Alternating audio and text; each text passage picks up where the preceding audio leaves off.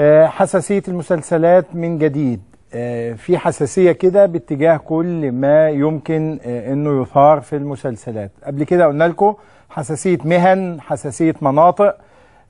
في أيضا حساسيات دينية يعني. هل هو فهم صحيح ولا فهم خاطئ؟ ده اللي إحنا هنحاول نفهمه في مشهد في مسلسل أرض جو للفنانة غادة عبد الرازق. آه، بعض الأقباط قالوا إن المشهد فيه إهانة للإنجيل لأنها ماسكة كتاب إنجيل باللغة الإنجليزية بتضع فيه أموالا وبعد كده بتضع آه، قدمها آه، عليه. هل ده صحيح ولا لا؟ معايا الأستاذ محمد جمعة مخرج مسلسل أرض جو أستاذ محمد أهلا بيك. طيب كل سنة وأنت طيب. كل سنة وأنت طيب أستاذ محمد. خلينا نسمع الأستاذ كرم غبريال المحامي. أستاذ كرم أهلا بيك. أهلا بحضرتك يا أستاذ وائل الحقيقة قبل ما نتكلم عن الموضوع ده والأستاذ أيمن عطية المحامي معايا أيضا. خلينا نشوف المشهد أستاذ كرم وبعد كده آه، آه، أسمعك يعني.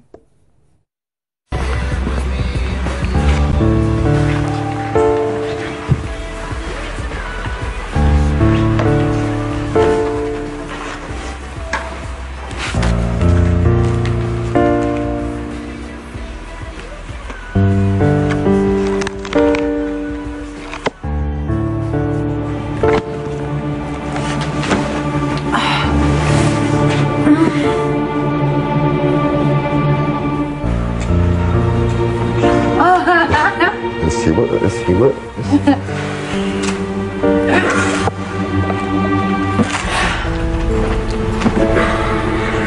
إيش؟ شو اسمه؟ لا أنا طفيت فيها. مجنون مجنونه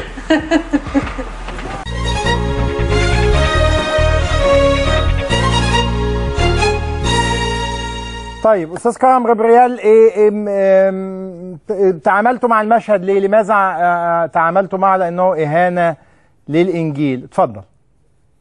حضرتك اولا أنا بعزي أهالي شهداء كمين النهارده في المعادي؟ ضباط شرطه وجنود صف الشرطة. بعزي أهاليهم لاستشهادهم على يد الإرهاب الخسيس الغادر. آه، الإجابة بتاعت السؤال بتاع حضرتك. آه. آه، حضرتك أتذكر بمنتهى الألم والمرارة أثناء مرافعة الشيخ المتهم في قضية الازراء لما ولع الكتاب المقدس وحرق الكتاب المقدس عند السفارة الأمريكية الشيخ أبو إسلام على مدار جميع جلسات الدفاع في المحكمة وقبل جلسات المحكمة كان تشدق هو ودفاعه في نيابة أمن الدولة العليا واعترف اعتراف تفصيلي وقال أنا اللي حرقته ليس الإنجيل المصري الذي يخاطب المسيحيين المصريين بل مم. أنا حرقت البايبل الخاص بالمسيحيين الأجانب. آه. محاولة منه للإفلات من العقاب ولكن هذا الدفاع العقيم آه لم آه لم يستطيع أن ي- يدخل وخد خمس سنوات سجن. والمحكمة حكمت عليه ب 11 سنة سجن في محكمة أول درجة تم تخفيضهم إلى خمس سنوات. آه فهنا القضاء إذا تم تحريك الدعوة الجنائية ضد هذه الممثلة أو الفنانة التي يطلق عليها ملكة الإغراء في مصر فلا بد أن تعامل معاملة المتهم الشيخ إيه. أبو إسلام في جريمة ازدراء دين لأن الجريمة واضحة ومكتملة الأركان يعني أنت عايز غ... تعامل غادة عبد الرازق معاملة الشيخ أبو إسلام آه، اللي حكم عليه بالسجن خمس سنوات آه، بتهمة حرق الانجيل نفس. الفعل يا أستاذ وائل نفس الفعل ونفس الجريمة. هي طب- بقى قصده هي مش قصده الركن الجنائي القانوني يا أستاذ وائل كما تعلمنا في الجامعات المصرية القانون المصري لا يعاقب على النية. هي تعلم تعلم في نيتها الإضرار بالمسيحيين أو الإهانة بالمسيحيين أو ليس في نيتها. في النهاية المشاهد للمنتج النهائي وأركان الجريمة تحققت. وبعدين المسيحيين المصريين يا أستاذ وائل لقد طفح الكيل. يعني إحنا بتتفجر كنايس. وشيوخ فتنة تطلع تقول دينا ديانه فاسدة. وبنبلغ النائب العام. وبنقيم دعاوي ولا حياة لمن تنائب مش ناقصة كمان واحدة زي دي ملقبة ومعروفة ومشهور عنها أنها ملكة الإغراء في مصر. إنها تهين الأقباط بهذا يعني الشكل. خلينا في الفعل بقى سواء من قام به يعني يعني أي شخصية أو فنان أو وزير أو مسؤول يعني هنا أنت أنت بتقول الفعل في حد ذاته. طب هل تأكدت إن ده. الإنجيل؟ هل ما هو تأكدت؟ مكتوب. يا سيدي الفاضل ما هو مكتوب بايبل ومش اللي يتحاكم غدا بس. كل فريق العمل. طيب أنا أنا أسأل الأستاذ. محمد جمعة المخرج. أستاذ محمد لأنه المخرج في النهاية آه، هو ال- آه، ال- المسؤول عن آه، صناعة العمل ال- الفني كمنتج نهائي يعني. أستاذ محمد هل هل اللي قاله الأستاذ كرم ده صحيح؟ هل في إساءة للإنجيل هنا زي ما قال؟ أيوه أنا سمعت كل حضرتك اللي قلتوه كله. بس حضرتك حضرتك كل سنة طيب اولا أستاذ كرم ده كل سنة طيبين. معوني بس دقيقة عشان الموضوع ده كوميدي. ليه بقى؟ الكتاب مكتوب عليه hardware bible hardware bible ده كتاب برمجة كمبيوتر. كلمة bible بتستخدم ككلمة مرجع. يعني في حاجة اسمها إيه؟ medical bible في حاجة اسمها TV program bible الكلمة دي هنا مقصود بيها كلمة مرجع. الكتاب ده كتاب software hardware بتاع كمبيوتر. اللقطة عندك وارجع لها. hardware bible فأنت لو عايز ترجع على دعوة ارجع على الثقافة اللي بتسمي الثقافة الغربية كلها اللي بتقدر اللي بتسمي كلمة bible بكلمة مرجع. فالكتاب ما فيش لا علاقة بالإنجيل ولا له علاقة بال bible بتاع الشيخ اللي الراجل اتكلم عنه ده اللي اتحاكم ولا له علاقة بأي الكلام ده. طبعا موضوع غادة عبد الرازق ونجمة الغاء والكلام ده مش هرد عليه. أنا الأستاذ بس اللي بيقول بنسيء وبتاع أنا عايز أقول بس حاجة يا جماعة. التعليم في مصر هو المشكلة التعليم. والله العظيم كل الليلة دي مشكلة تعليم. وإحنا بنضيع وقتنا وبنضيع وقت الناس وبنتكلم عن بقول لك كتاب اسمه hardware bible كتاب كمبيوتر بي في كلية الهندسة بيتدرس وفي كليات ثانية بيتدرس وأي حد بيدرس كمبيوتر بياخده. هل معنى كده مثلا لو واحد من الناس دي خطه على وقعه على الأرض ولا حاجة نحارب الراجل ده ونحاسبه على تهمه اسرائيل الاجانب لا هو هو كده مش كده ما يعني كده مش كتاب إنجيل يعني. هنا يا أستاذ كرم يعني هنا زي ما أقول لك أستاذ محمد أو مش مش تتأكد الكتاب إيه آه آه يعني hardware bible ده متعلق بالبرمجة والكمبيوتر يعني. ملوش علاقة مش إنجيل. يا أستاذ كرم. أيوه يا فندم سامع حضرتك يا أستاذ. ده ده. تفسير الأستاذ محمد ده كلام الأستاذ محمد جمعة بس عشان الراجل بيقول المشكلة في التعليم إن الناس مش متعلمة كويس فبتخبط يعني. والله مش المشكلة في التعليم. أنا شايف إن المشكلة في الخلط. يعني كل يعني أنا مش فاهم. إيه مشكلة لقطة في واحدة بتمثل أو الفنان اللي معاها داخل ماسك كاس وبتطوح؟ إيه يعني يعني اذا كان حتى فرضا جدلا مع احترامي العظيم للأخ اللي بيتكلم وبيتكلم عن التعليم أنا هنزل إلى هذا المستوى الفكري وإلى هذا المستوى اللغوي فرضا إن هو كتاب كمبيوتر. ليه يعني يظهر قوي قوي كلمة bible ويعمل بلبلة عند الناس؟ ما هو برضه اللي عمل خلط ما اشمعنى هو الكتاب كله ظاهر هات لنا المشهد في ايديه ما الكتاب في ايديه مش ده الكتاب في إيديها؟ ليه مركز على كلمة bible ما هو الكتاب يعني كله يعني. طالع يا أستاذ كرم أهوت كله اللي هيبص على الكتاب كده ده كتاب برمجة كمبيوتر. آه، الراجل بيقول لك بقى حاسبه بقى على استخدام bible كمرجع في اللغة الإنجليزية يعني روح بقى يعني أنا مش عايز بس يبقى عندنا هذه الحساسية المفتعلة يا أستاذ كرم. يعني لو في مشكلة نعم مفيش حد هيبقى آه، هيقبل ابدا ال- الإساءة للأديان يعني. أستاذ وائل اسمح لي ارد إحنا ما عندناش حساسية ولكن حتى لو عندنا حساسية من حقنا يبقى عندنا حساسية عشان الشيوخ بتقول ديانه فاسدة والشيوخ بتقول اقتلوهم والشيوخ بتقول ما تعيدوش عليهم. ما إحنا دخلنا بقى شو شفت أنت بقى؟ بتستخدم قضية وهمية. يا أستاذ كرم خلينا نستخدم قضية حقيقية. يعني يعني حي حي حينما قال الشيخ سالم عبد الجليل هذا الكلام كنا أمام قضية حقيقية. إنما يعني مشهد المخرج قال لك يا جماعة ده كتاب ترجمته كذا كذا. ببساطة شديده نقول خلاص يا جماعة أخطأنا وبنعتذر حتى شجاعة اعتذار يعني لأنه أنتوا اتهمتوا الناس بإنها لازم تدخل السجن. خلاص المسألة محسومة يعني. ثم يعني لازم كلمة bible. يعني لو الكتاب ده مكتوب فيه بدل كلمة bible دي كلمة القرآن مترجمة إلى لغة إنجليزية أو لغة يونانية كان الموضوع يمر مرور الكرام ولا هي علشان جت عند الإنجيل بقى خلاص بقى نتكلم في الثقافة؟ يا, ت... يا يعني يا. يا, يا أستاذ كرم ليه حساسية المقارنة بهذا الشكل يا جماعة؟ أستاذ محمد يا جمعة أسمع منك تعليق على كلام الأستاذ كرم. اتفضل. أنا بس أنا بس عايز أقول حاجة كمان للأستاذ كرم إن مدير التصوير في العمل الأستاذ وائل خلف ده ده مسيحي أخ مسيحي. يعني هو اللي حاطط عينه في الكاميرا وبيصور مسيحي. والأربعة مص... وثلاثة مصورين من المصورين اللي معانا مسيحيين. فيا جماعة عمر الناس دي ما عارفين دينها. والموضوع الموضوع كله فعلا كوميدي. يعني موضوع ويرد إن إحنا نقول على مصطلح هو اسمه المرجع في مش في كتاب اسمه الجامع في اللغة. هل ده معناه إنه الجامع اللي بنروح نصلي فيه؟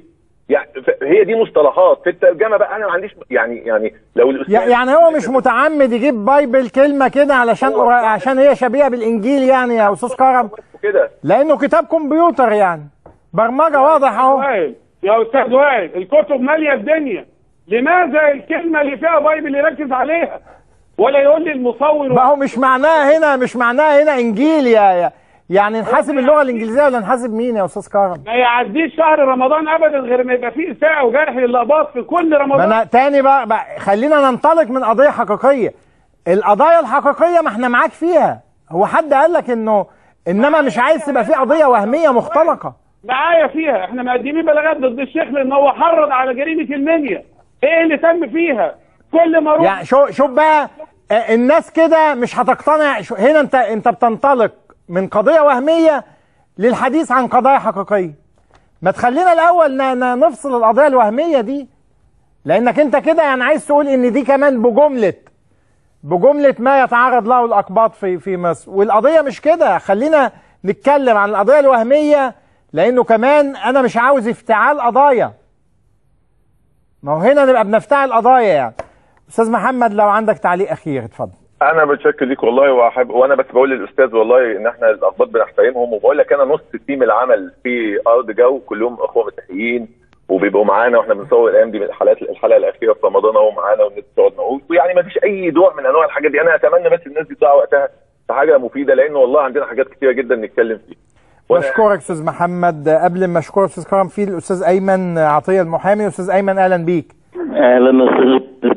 أستاذ أيمن ما ما هل أنت موافق على إثارة القضايا بهذا الشكل ولا آه، إحنا أمام افتعال قضايا؟ والله الواحد حزين إن الم- ال- ال- المجتمع تحول آه، في معظمه إلى شوية إلى محتسبين. وهيئة أمر بالمعروف ونهي عن المنكر والناس بقت قاعدة أو شبيه أو حدث. امشي امشي بالتليفون شوية يا أستاذ أيمن امشي بالتليفون. بقول بقول لحضرتك حزين إن المجتمع تحول لمجموعة من المحتسبين آه طب نكلمك تاني نكلمك تاني.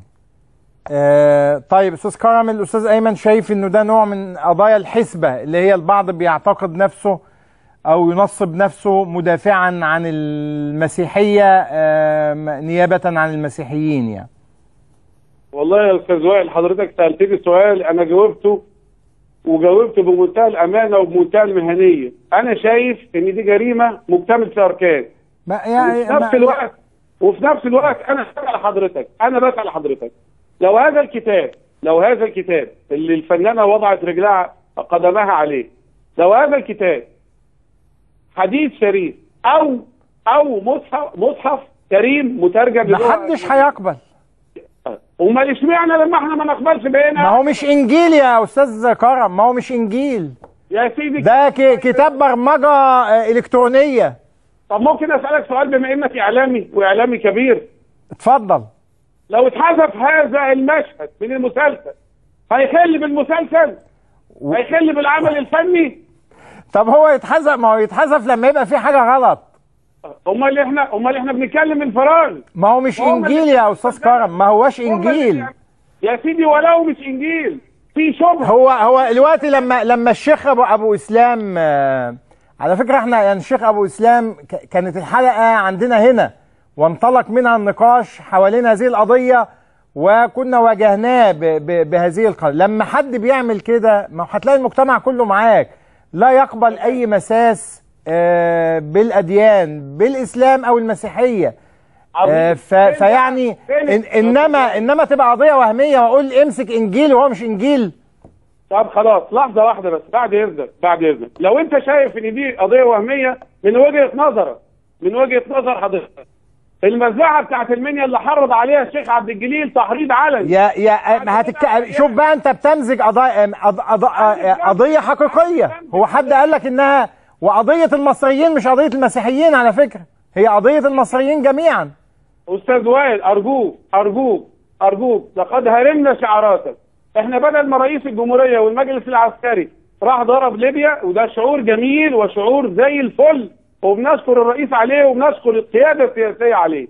بس بدل ما نروح نضرب في ليبيا لا إحنا عايزين نمسك المجرم اللي عمل كده. طب انت أنا عايز افهم إيه علاقة ده بقدم غادة عبد الرازق؟ تقدر تقول لي؟ مفيش علاقة. إيه علاقة ده برجل غادة عبد الرازق في مسلسل؟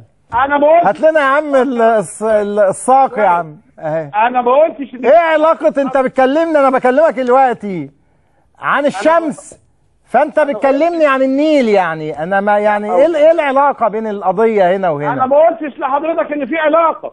أنت شايف إن ده مش إنجيل وأنت شايف إن ده مش كتاب مقدس طيب. وأنت شايف إن دي مش قضية. أستاذ أيمن عطية تعليقك بس هاخد منك تعليق أخير. صوتك كان بيقطع. اتفضل. لا هو هو هو قطعا هو ده مش إنجيل وقطعا القضية وهمية. جدا جدا وما يصحش إن إحنا نتكلم عن إنجيلنا. الامر انت انت في مترو الأنفاق ولا فين يا أستاذ أيمن؟ اطلع. سامعني؟ انت كده. آه سامعك. طب بسرعة. حاضر. بقول لك إن إحنا ما ينفعش. لا الصوت عندك فيه مشكلة. بشكرك. أستاذ كرم غبريال بشكرك. يا جماعة يعني أحيانا عندنا قضايا حقيقية. هي قضايا كل المصريين هي على فكرة مش قضايا المسيحيين ولا ما عندناش قضايا مسيحيين وقضايا مسلمين يعني. الوطن كله بيدفع ال- الثمن وبيدفع لما تكون في قضية حقيقية. إنما إيه علاقة ده بساق غدا عبد الرازق ملوش علاقة. إيه علاقة ده بكتاب عن الكمبيوتر يعني؟ ملوش أي علاقة خالص يعني. إيه علاقة ده بم- إيه علاقة ده بمسلسل أرض جو؟ مفيش. لكن هل البعض عاوز يعني يثير حساسيته وينطلق من ده؟ يعني بجملة ما يتعرض له الأقباط نعم ما إحنا بنتكلم عن ثقافة شعبية بنتكلم عن مناهج تعليمية وبنتكلم عن آه، مشاكل بناء وترميم الكلام كلنا نتكلم فيه بس نتكلم فيه في سياقه الحقيقي يعني. إن تكون في قضية حقيقية. انما ما آخدش مشهد في مسلسل يلحقه ده الإنجيل. طب يا عم مش الإنجيل. آه لا. إشمعنى جاب بايبل تحديدا يعني؟ يا سيدي ال- المصطلح في عمومه يعني برمجة آه، كمبيوتر يعني ملوش علاقة خالص بالإنجيل لكن مفيش فايدة. آه،